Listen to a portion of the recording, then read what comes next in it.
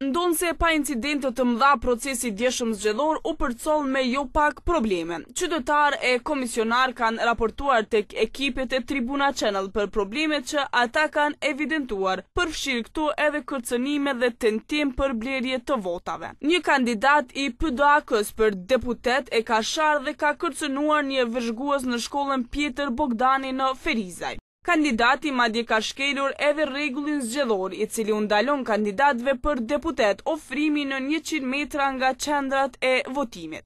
Po, unë jam vëzhgues në shkollën afër shkollës teknike, që është shkolla Tevfik Çanga, dhe në shkollën teknike është vëzhgues, domethënë kolegu im vëzhgues, në këtë rast jemi edhe familjar, edhe ky po më lajmëron se ka një kërcënim fizik, që ka mundësi me u sulmu fizikisht. Edhe unë e vijë e kontaktoj cili është problemi, tha se kandidati i PDK-së, që është kandidat për deputet në Republikën e Kosovës, ai e shan edhe e fyn edhe e kërcënon që dy të njofshëm, nuk i di se kush janë ata, afër vetes i thotë, kapne këta se duhet, më falni se s'po du mu shprej ashtu që shprejnë ata pandërgjegjshëm, edhe ka pasë edhe persona shumë aty, në publik domethënë, edhe dy i një që mund me qenë dëshmitar.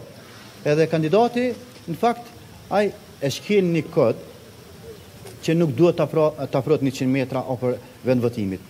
Ndërsa tentim për blerje të votës qytetarët kanë evidentuar në Banjë të Malishevës, ekipi i televizionit ka arritur të filmojë disa persona që besohet se janë nga Nisma për Kosovën, të cilët u japin letra qytetarëve që po shkonin për të votuar. Disa qytetarë në kushte anonimiteti kanë thënë televizionit se gjatë tërë ditës këta persona kanë bërë presione të tilla e madje u kanë dhënë lista për persona për t'i votuar duke u shkëmbyer me para.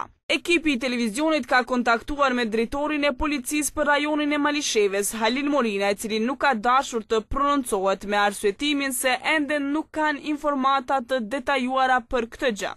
ndërsa menaxheri i qendrës së votimit ku ndodhi rasti, Met Krasniqi, pas kamerës i ka deklaruar televizionit se ka marrë një informatë të tillë, por që kjo ngjarje ka ndodhur jashtë objektit të qendrës që ai e menaxhon. Probleme të ngjashme janë raportuar edhe në disa qendra të tjera nga qytete të ndryshme të Kosovës.